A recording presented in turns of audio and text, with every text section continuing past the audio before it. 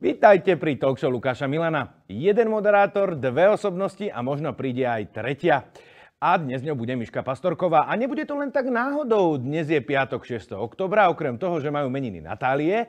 Natálie, Natália. Ježiš, kurňa, e, moja žena. Marek, na sekundu prerož.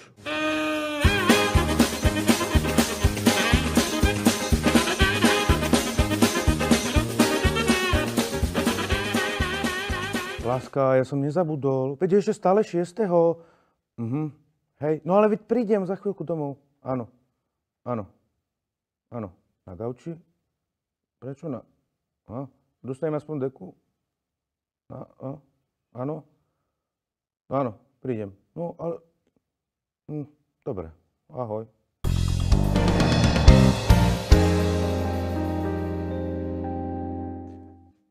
Takto by sme mali úspešne vybavené. E, kde sme to skončili? Jaj, okrem toho, že dnes majú meniny Natálie a my, čo sme nezabudli, nemáme žiadny problém, tak dnes okrem toho máme aj Svetový deň úsmevu.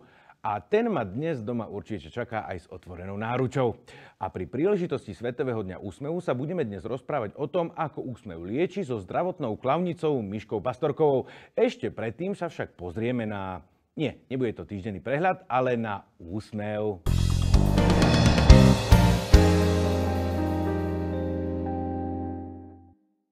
Usmiali ste sa dnes? Ak nie, tak veľká chyba. Úsmev totiž zvyšuje hladinu endorfínov, čo robí telu dobre. Úsmev je prakticky univerzálny po celom svete. Je to spôsob komunikácie. Napríklad, keď sa žena usmeje na muža, tak mu vlastne hovorí si sexy. Vidíte? Tam priam iskrí. Pre mužov je úsmev tiež zbraň ťažkého kalibru. Často ním ohlasujú veľkolepý úspech a uznanie ako v tomto prípade. Deti sa začínajú smiať už od 6 týždňov. Sprvoti je to taký nesmelý, ba až plachý úsmev. Ale postupom času, keď sa človek učí, tak sa rozširuje. Úsmev samozrejme. Následne prichádza fáza skutočného úsmevu, keď to vyzerá, že fakt viete, prečo sa smiete. Až nakoniec človek dospeje do štádia, keď všetci vedia, že nič neviete a preto sa už len priblblo usmievate. Po zrelej úvahe abdikujem z postu ministra školstva, vedy, výskumu a športu Slovenskej republiky. Hoci už pred týždňom vás tento milý usmievavý pán vykopol a tu sa dostávame k rôznym typom úsmevov. Poznáme napríklad ten úprimný, americký. Potom máme taký ten náš typický široký slovenský úsmev. Ďalej máme taký detský, keď nám ocko podpíše žiackú knižku. Inak vedeli ste, že usmievať sa vedia aj zvieratá? Marek, počkaj, Strašne mi to niekoho pripomína. Nevieš náhodou koho?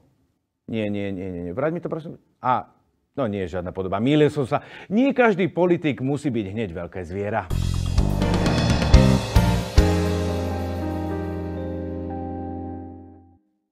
V lete rozhodne nebola uhorková sezóna, preto stojí za to si ho pripomenúť a navyše, vtedy sme došli, ako hovoríva náš pán premiér, k závažným zisteniam.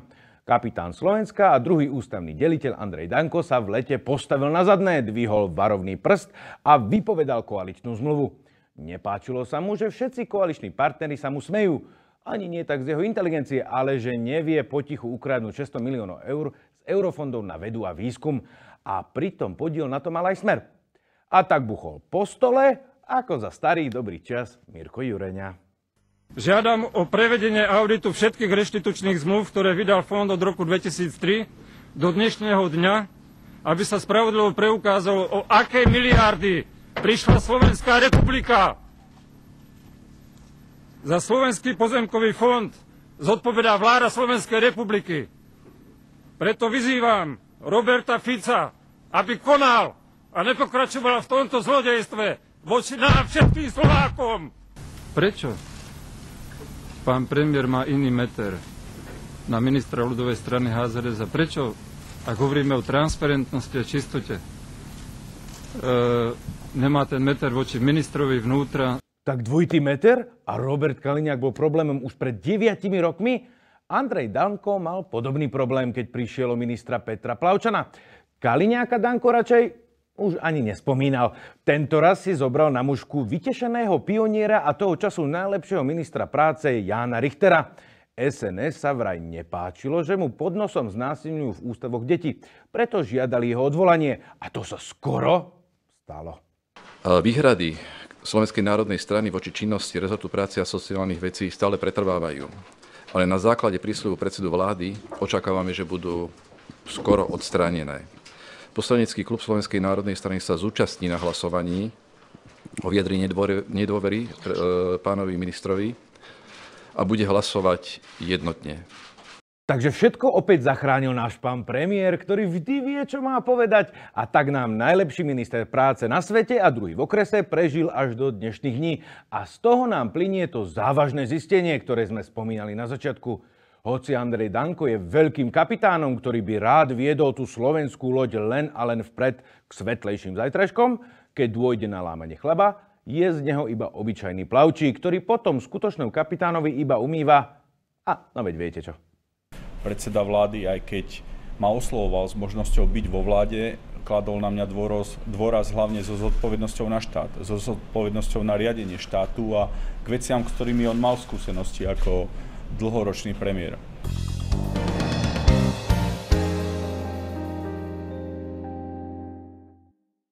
Teraz sa pozrieme na jednu aktuálnu kauzu, ktorá nikoho nezaujíma. Smer na čele s Robertom Ficom sa plnou parou pustil do prezidenta Andreja Kisku kvôli jeho poťahovačkám s daňovým úradom. Robert Kaliňák, ktorý má peniaze od svojho obľúbeného obvineného daňového podvodníka Lacka Bašternáka, Kisku dokonca obvinil, že je daňový podvodník. Aké úprimné. Strana Smer k tomu vyzýva, aby Kiska zverejnil všetky svoje faktúry a upokojil tak situáciu v spoločnosti. Uuu, tak to je vážne. My sme si doteraz mysleli, že tie 10 tisíce ľudí pochodujú po meste kvôli podvodnom Smeru a nie Kisku. Tie médiá zase klamali. Zaujímavé, že Smer nechce, aby to isté spravili predseda Fico. A nemusí ani faktúry, stačil by predsa iba výpis z účtu z Belize. No ale, aby sme vysvetlili, čo nikoho nezaujíma. Firmu Andreja Kisku preveroval pred dvomi rokmi daňový úrad a neuznal mu niektoré výdavky na volebnú kampaň. Účtovníci mali jednoducho iný výklad zákona ako daniari. Kisková firma teda dodatočne doplatila vyrúbenú daň a tam to skončilo. Teda skoro. Daňový úrad povedal, že skutok sa nestal. Polícia povedala, že skutok sa nestal.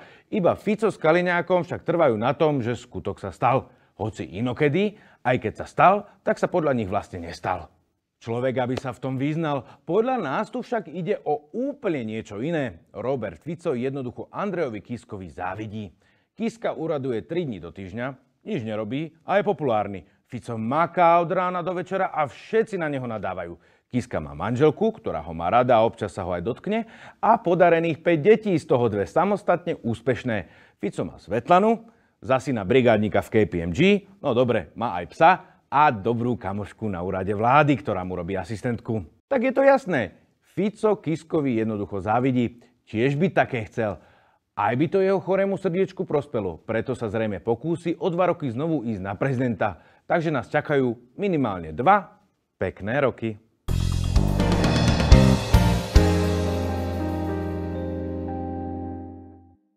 A keď už máme dnes ten Svetový deň úsmevu, tak na záver prehľadu udalostí tu máme taký jeden špeciálny úsmev slovensko-politický, taký, keď sme všetkých ch**ali.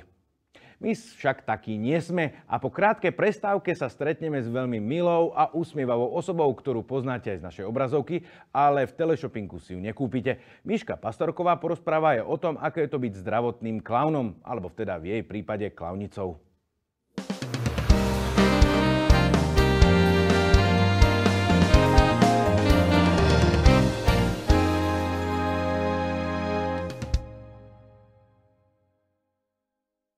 Vítajte späť pri talk show Lukáša Milana. Ako som už spomínal v úvode, dnes máme Svetový deň úsmevu a pri tejto príležitosti sme si tu pozvali milého hostia a je ním naša kolegyňa Miška Pastorková. Vítajú nás. Ahoj, ahoj. Aha, ahoj, ahoj. Trošku som sa zľakol. Ja som sa tiež vyzeráš. trošku zlakla teba. a asi nie si zvyknutá na to, že odpovedaš na otázky, ale skôr kladieš tie otázky, keďže pracuješ aj v našej televízii, ale nemáš taký červený nos. Uh-huh. Teraz je taký trošku červenší. A čo, zima vonku ešte? Alebo... Zima ešte až tak veľmi nie, ale e, ja takto chodím ako zdravotný klaun. Teda teraz konkrétne mám na sebe kostým, za ktorým, e, v ktorom chodím za trošku staršími pacientmi, za seniormi, ale normálne ako aj e, za deťmi. To Takže chodíš za deťmi ako a rozveseluješ ich, hej? Áno, presne tak to je. A niektoré deti majú aj fóbiu z klaunov. A ja mám trošku, tak sa bojím tých klaunov. A neboja sa aj tie deti?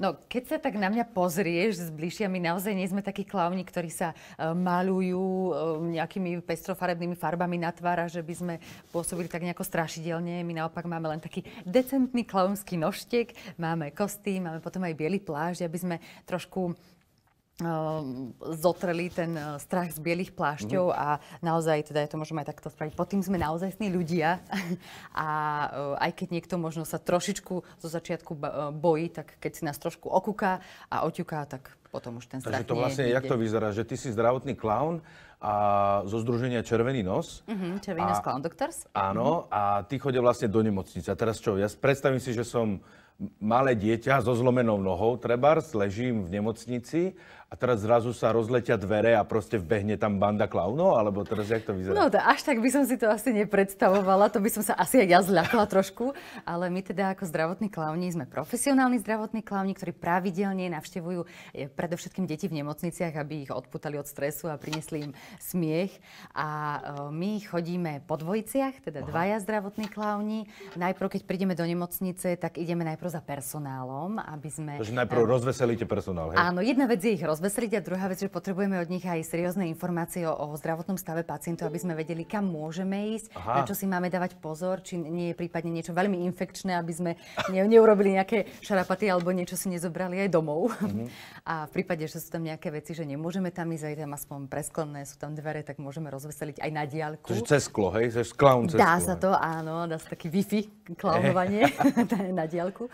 A e, potom, keď nám už povedia, aká je situácia, my sa dezinfikujeme, umieme a ideme na to. To znamená, že klopeme na izby, aby sme si teda pýtali povolenie od tých pacientov, mm-hmm. pretože vstupujeme do ich priestoru a chceme im tak trošku aj navrátiť ten pocit, že aspoň o niečom môžu rozhodnúť, že môžu rozhodnúť o tejto našej návšteve, či tam prídeme alebo nie. A keď nám teda dovolia, my vstúpime a už sa začne tá klauniáda. A čo tam vlastne robíte? Že no, čo teraz? Ste dvaja, hej? Áno, sme dvaja. Spomínala. Mm-hmm. Tak e, čo, že dvaja a teraz čo, začnete rozprávať vtipy? Alebo čo, čo, čo? nie, nie, nezačneme rozprávať vtipy. Ani nezačneme bežné vyšetrovania, aj keď niekedy jasné sú to také naše klaunské verzie tých bežných e, úkonov alebo bežných vizít, ktoré sú aj v nemocnici. A vždy sa to snažíme prispôsobiť e, tej izbe a tomu pacientovi, mm-hmm. lebo iné veci fungujú na dvojročné bábetko alebo dvojročné dieťa, iné na tínedžera, iné na uh, dospeláka a seniora.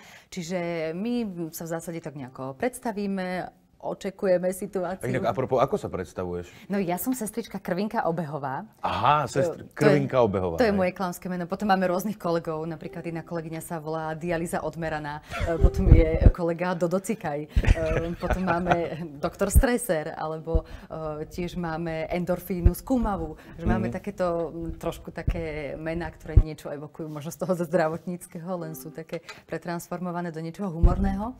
A čiže sme akože doktori a sestričky sestričky, alebo dokonca aj primárku máme, mm. primárku demenciu. Yeah. to je jediná demencia, ktorej radi otvoríte, keď vojde.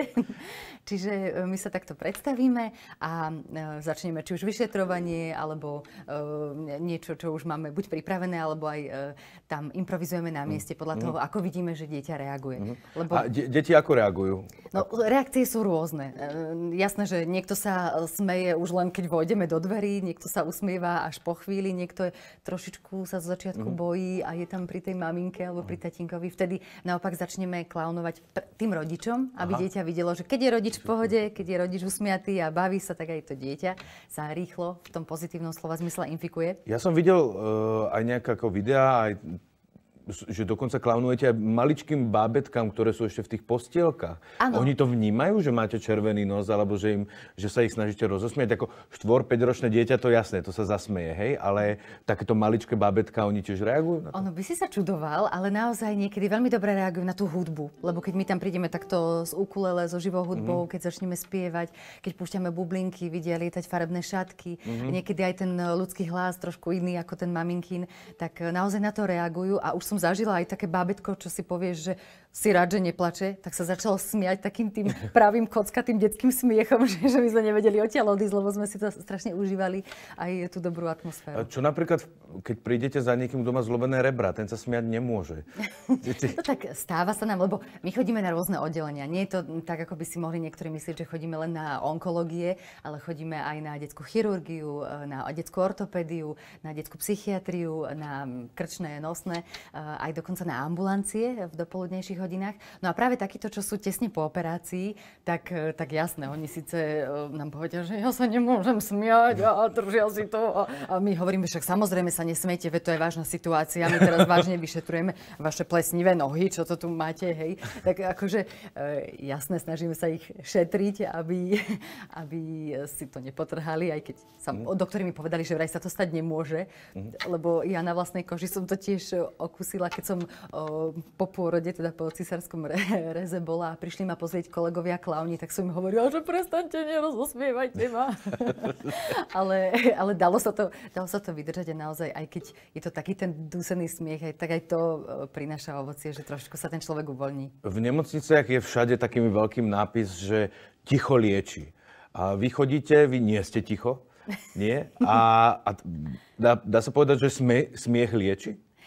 Ja som o tom presvedčená, že smiech lieči, ale aj keby sa mohlo zdať, že sme nejaký hlučný party klavni, tak to vôbec tak nie je. My naozaj sa snažíme pristupovať citlivo a áno, niekedy je to tak, že máme na izbe doslove party, kde veľa spievame, tancujeme aj s pacientami. Niekde sme úplne ticho, že vôbec nič nepovieme, že nič nepočuť, až potom, keď e, odídeme a zavrieme dvere, počuť detský smiech. Čo mm-hmm. je mhm. úplne super, lebo dá sa klaunovať aj tak. A fakt je to o tom, ako to ten klaun vycíti, e, že čo je pre koho potrebné a e, čo je tá jeho šálka humoru. Mm-hmm. Uh, viem, že tento, títo clown doctors vznikli vlastne v Amerike a ešte vlastne v 80 rokoch, ale na Slovensku to doniesol Američan, Gary mm-hmm. Edwards, ak si dobre pamätám.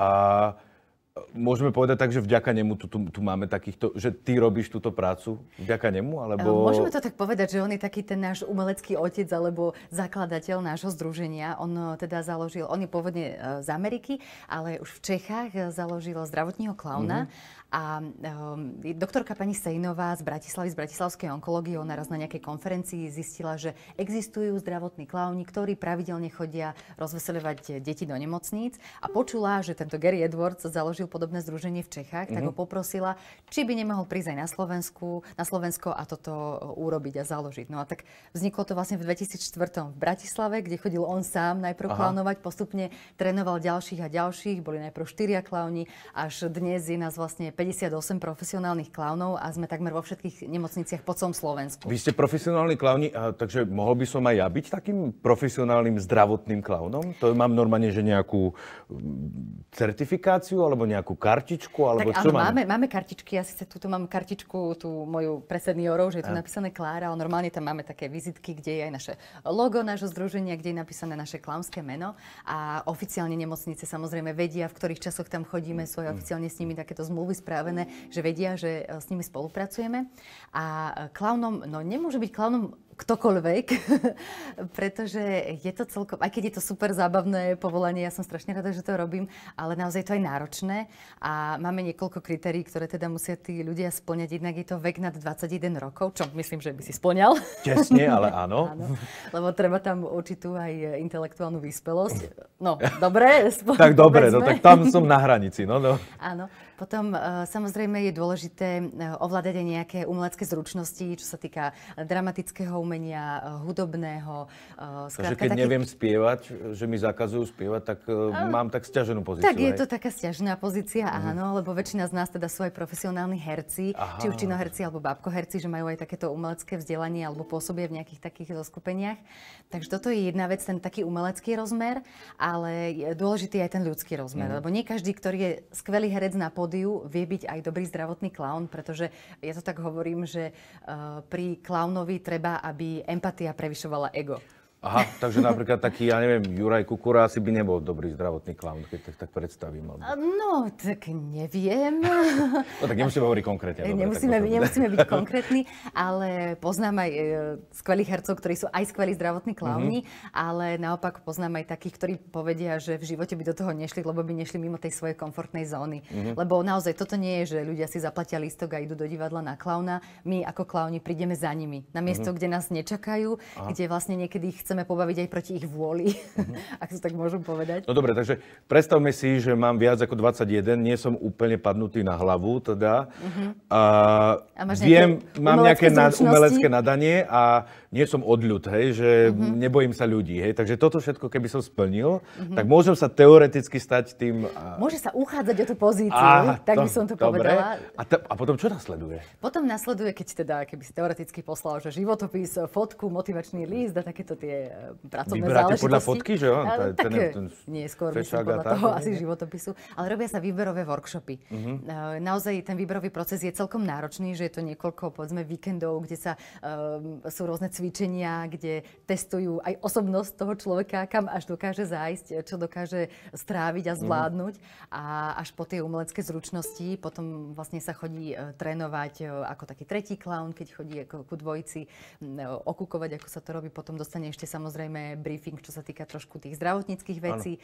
A keď toto všetko absolvuje, celý ten zaškoľovací proces, tak potom sa môže stať zdravotným clownom. Ale tým vzdelávanie nekončí, pretože my keďže chceme byť profesionálni a stále ísť dopredu, tak eh, aj keď napríklad ja už som clown od roku 2008, mm-hmm. tak eh, každoročne absolvujem niekoľko workshopov, aby som zase niektoré zručnosti mohla si zlepšiť, vylepšiť. Viem, že v Amerike je dokonca nejaká certifikovaná klaunská škola, akože mm-hmm. týchto, pre týchto zdravotníkov. U nás niečo také existuje, že, že na jednom mieste sa tí ľudia stretávajú, alebo v tom občianskom združení sa to všetko uh, My také tie workshopy um, buď organizujeme u nás, alebo chodíme aj do Rakúska, alebo do Čích, kde sú naozaj svetoví lektory, ktorí vyslovene sa ne, nevenujú len zdravotnému klaunovaniu, ale napríklad sú to uh, herci alebo hudobníci, a ktorí nám môžu dať niečo zo svojho umenia, čo my môžeme potom mm. pretransformovať do svojej práce. Opýtam sa takto, aké sú trendy v tomto klaunovaní? trendy? Jo, no to je veľmi rôzne a, a naozaj nás 58 a môžem povedať, že asi neklaunujeme všetci úplne rovnako, aj keď sú isté pravidlá, sú isté také klaunské rutiny, situácie, ktoré máme ako keby mm. naučené, ale vždy sa vlastne prispôsobujú uh, pacientom a tej danej situácii. Spomínala si, že nielen teda tie deti na tej pediatrii, a, ale chodíte aj k starším ľuďom do domov sociálnych služieb. Tak ktorí sú lepší diváci? Deti alebo starší? No, je, každá klauniada má svoje čaro. Eh, ja som veľmi rada, že môžem byť aj klaun pre seniorov a pre, presne toto je môj kostým, s ktorými chodím navštevovať, či už sú to oddelenia dlhodobo chorých v nemocniciach alebo domovy seniorov. A eh, naozaj eh, seniori sú veľmi vďační. Naozaj za, za každú chvíľu, ktorú tam s nimi mm-hmm. strávime, tie klauniady sú také pokojnejšie, viac o, o hudbe, o takých príbehoch.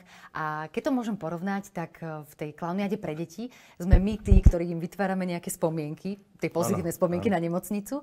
A pri tých senioroch e, tým svojim klaunovaním sa snažíme v nich vyvolať spomienky. Uh-huh. Nie spomenúť si na niečo, čo zažili zo svojho detstva alebo zo svojej mladosti. Napríklad, keď sme mali tému, ja neviem, Veľkú noc, že sme prišli s korbáčom, tak e, zdalo by sa, že uh, detkovia a babky, ktorí ledva sedia, ledva ležia, tak s tým korbáčom tak ožili a tak nás vyšíbali, že boli šťastní a potom nám ešte aj porozprávali, ako oni chodili pliesť korbáče, aké pesničky spievali, tak si aj to s nimi zaspievame. Čiže uh, je, to, je je to, naozaj, je to iné, ale je to, je to skvelé a myslím si, že aj im treba uh, prinášať smiech, pretože smiech nepozná vek. No, Skrátka, každý má právo na to mať dôvod na smiech. Mm-hmm. Na čo naj, najviac reagujú vlastne tí starší teda? Tí starší veľmi dobre reagujú na hudbu, uh-huh. a, ale zase keď, keď sú to už takí starší, že ktorí majú problémy napríklad so sluchom, lebo no, aj to sa to stáva. dosť zle počujú. Teda, Áno, čiže tam už potom aj na, na dotyk, na nejakú rekvizitu, ktorú uh-huh. donesieme. Uh, na, ja neviem, donesli sme aj niekedy, že sušené huby sme im dali, alebo uh, akože ovoňať, alebo že sa tak pozreli na to, povedali nám recepty, aké robili. Čiže my sa snažíme viaceré zmysly um, tak nejako Jasne. aktivovať, motivovať, že nielen tú hudbu akože cez sluch, ale aj Volajú si vás aj naspäť, že Môžete prídite ešte raz, akože ku nám, teraz myslím tých starších, teda, lebo no, v nemocnici sa menia, ale v tých domových sociálnych služieb tam, tam zostávajú väčšinou. Pravidelne už stretávame e, niektorých, áno. E, a keďže tam chodíme pravidelne, tak to už je aj taký vzťah e, medzi nami vybudovaný a už sa pýtajú, tak čo Klára, ako sa máte, a ako ten váš muž a deti a toto, lebo my v rámci tých našich klaunov máme také svoje klaunské príbehy a klaunské životy, ktorými oni niekoľko životov, hej? Žijú. Ty áno. si najprv Krvinka obehová, potom Klára, mm-hmm. potom Miška, hej? Áno. A ty máš vlastne dve deti, akože nepletie sa ti to v hlave? Ne, ne, nepomýliš sa občas? Že, a propos, keď si v domove, keď si Klára, tak máš akého muža? Že či si aj muža nepopletieš, že no, mu povieš inak? Mám, mám kolegu, mám muža. Môj, ja, môj muž je akože potom... Gustav. Tak Gustav Dros, taký vysoký dvojmetrový a môj reálny manžel je o trošku vyšší ako ja, čiže nemá dva metre. Ale manžel o tom vie, všetko je v poriadku. Aj manželka môjho kolegu o tom vie, že máme takýto pracovný vzťah. Tak, a, a doma niekedy sa prichytíš, že doma sa prevtelíš do nejakej tej úlohy, ktorú keď chodíš uh, robiť toho klauna? No, nepoviem, že úplne, že sa prevtelím, ale aj doma mi často pomôže to klaunovanie. Lebo uh, všetci rodičia mi si dajú za pravdu, že naozaj byť trpezlivým a milujúcim rodičom dáva zabrať. A keď niečo poviete, že toto urob teraz a hneď a sa to neurobí ani na 10. ani 20. krát, mm. tak už trošku strácate trpezlivosť. Tak vtedy naozaj cez to také klaunovanie, cez nejakú hru, mm. dosilím to, čo som chcela. Mm. Že tiež tak... Akože s manželom, hej? Aby nie, urobil, nie s manželom, ale s deťmi. Ja, Manžel je taký poslušnejší, by som povedala. ale tiež Takže tak... deti sú po tebe, hej? Áno, áno, v podstate, hej. No a napríklad so synom, no, e, keď bol raz syn chorý a tiež potrebovala som, aby vypil ten pohár vody a on stále nechcel, nechcel, tak som vymyslela takú hru, že mu hovorím, že Maťko, ja som počula, že tento pohár je čarovný. Ja, sa, ja pôjdem vedľa a som zvedala, či z neho trošku ubudne. Hej, idem, tak som išla, išla som naspäť a ubudlo. A ja, že to čo, čo sa to, máme tu nejaké čary, nám to ubúda. A on sa tešil, že to ubúda. A na túto, s touto hrou som docelila, že vypil skoro pol litra. čo, bolo, čo bolo výborné. Hej. Lebo presne toto niekedy robíme aj ako klauni, že aj kolegom sa stalo, že prišli na izbu a bol tam pacient, mamička mala hlavu v smutku, že naozaj nechce nič jesť a nevedela do neho dostať ani jeden banán obyčajný. A pri tej klauniade, pri tej hre, ako, ako klauni e, s ním um, riešili niečo a tak ho motivovali, tak nakoniec fakt zjedol celý banán a prišla sa ešte aj zdravotná sestrička pozrieť a povedala, wow, že to je úžasné, že toto sme, sme dokázali. Čiže bývame takto nápomocní. Hej. Okrem toho, že si teda zdravotný klaun, uh, mama na plný úvezok v podstate, že s dvomi deťmi malými, a, tak si aj herečka, dobre tomu rozumiem, akože Máte to improvizačné divadlo, hej? Áno, improvizačné divadlo Kapor na scéne. Kapor na scéne, Áno, tak, tak sa voláme a robíme buď improvizačné večery, alebo máme aj také, že celovečerné predstavenia, ktoré sú poloimprovizačné, polo, polo naskúšané a máme aj predstavenia pre deti. Koľko vás tam je? Sme štyria. A, štyria. a z hodou e, okolností... Okolnosti všetci klauni? Všetci zdravotní klauni. Áno. Že to si takto rozumieme aj v rámci toho improvizovania mm-hmm. v nemocnici, aj improvizovanie na pódiu. A keby niekto chcel kapranie na Vianoce, ale na scéne, tak kde vás nájde? No tak buď naš, na našej stránke, alebo, alebo na našej um, sociálnej sieti máme tiež e, kapor na scéne ako, ako profil a tam vidno, mm-hmm. že kde Ešte som sa vlastne chcel opýtať, vrátiť sa poslednou otázkou k, k tým klaunom, že kto to vlastne platí? Uh-huh. No, my sme občianske združenie a fungujeme teda profesionálne, to znamená, že je to honorovaná, honorovaná činnosť, lebo inak by sme to nemohli robiť pravidelne ani na takej profesionálnej úrovni. A je to, je to platené v podstate um, ako občianske združenie, čiže z prispievateľov verejných, čiže že individuálnych darov, darcov, darcov. Že individuálni áno. darcovia, možno nejaké firmy sponzorské, hej? Áno, aj to, alebo tiež nejaké granty, takže uh-huh. je, to, mhm. je to taká veľmi široká Takže toto všetko vlastne, toto robíte, my, prinášate my radosť tým, uh-huh. že niekto vlastne daruje vám peniaze, hej? Že, takže... Áno, tým, že ľudia nás podporujú, tak my tým môžeme naozaj pravidelne a profesionálne rozosmievať deti, a nielen teda deti v nemocniciach. Mm-hmm. Dobre. Ďakujem ti veľmi pekne. A inak máš toto ukulele, celý čas to tak áno, brnkalo, áno, áno. že či by si nám na záver ešte niečo nezahrala No, pekne. mohla by som, len ja, ja som sa chcela ešte na teba pozrieť, lebo mne sa zdá, že tuto sa ti, tuto sa ti púšťa, tuto, nie, tuto máš niečo také... Čo? Čo to je? No. Aha. Sa ti vyklíčilo. Z toho červeného svetra. Asi také žmolky. To, to bolo, sa, to vyžmolkovalo. Sa, sa, to, sa to vyžmolkovalo. No ale keby si, keby si potreboval ešte niekomu toto, toto dať, tak možno, ešte ja ti ho roztrhnem. Ale nie, to, to by bola no, škoda. to máš na... A, a sú dva. A, no. Fakt sú dva? vidíš, minulo som to skúšala s 10 eurovkou a nefungovalo to. No. no vidíš to. Ale na toto tak, funguje, no. Tak uh, môžem ti ho Môžem si ho dať? Áno, môžeš. Môžem si ho dať? Dobre. Takto sa to dáva na nos? Mhm, áno, takto. Je to na všetky nosy, je to univerzálne Aha, naozaj aha, a prenosné. to- Aha, takže aj pre tých, čo majú väčší a nos, hej? Kto- Ale komukoľvek. strašne to tam vidím normálne. To, tam, to tam No len- tak ja tiež vidím nos, Aha. ale to vôbec nie je um, na Ale škodu. tak to je výhoda, lebo teraz si konečne vidím na špičku svojho nosa. Mhm, áno, áno, a ladíš, krásne ladíš. Aj, a toto, toto je ešte teda pre ďakujem, teba. ďakujem veľmi pekne. A ešte, ak by som vlastne mohla povedať, že teda ja som teba takto, z teba urobila zdravotného klauna, ale keby niekto chcel byť zdravotný klaun, tak s hodou okolností my teraz tiež hľadáme posilu trošku Aha. e, do rôznych kútov Slovenska. Takže môžem sa predsa len prihlásiť, No skúsiť tak môžeš, môžeš to skúsiť, že od Prešova až po Komárno potrebujeme Aha. ešte nejakých klaunov. Že raz za rok alebo raz za dva roky robíme takéto výberové workshopy, takže kto nazbiera odvahu, tak pokojne e, môže sa informovať na našej stránke. Dobre, na vašej stránke červené nosy, alebo červený nos teda. Áno, tak Takže, uh, zahraš nám? A tak môžem. Máme takú skladbu, ktorú e, používame aj v nemocniciach, aj pre seniorov. A ja hovorím, že to je taká, že aby sa lepšie trávilo, lebo má to veľmi ťažké slova, ktoré Aha. hovoria o tom, že treba teda konzumovať. Treba jesť. Dobre, takže na záver, na záver dnes pri príležitosti Svetového dňa úsmevu dostali ste veľmi veľa úsmevu od uh, Mišky Pastorkovej. Ďakujem teda za návštevu. Ja ďakujem. A na záver si dáme pesničku na trávenie.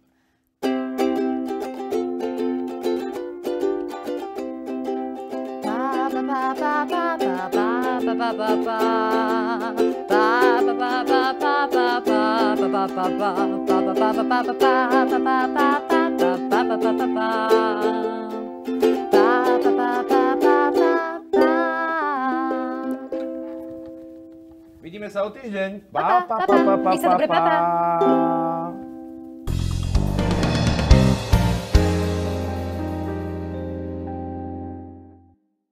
A ešte sme na chvíľku späť. V novej sezóne vám prinášame novú rubriku na záver a je ňou Blbec týždňa. Tento raz to vyhráva náš televízny kolega z RTVS. V tejto chvíli vidíme naživo, ako Peťo Sagan ide telefonát so svojou manželkou Katarínou. Tak necháme mu samozrejme priestor, aby najprv sa porozprával so svojou manželkou a potom spravíme rozhovor. Stiamo prenose Pusina. No, ďakujem. Jak sa máte? Čo? Prečo? Ale...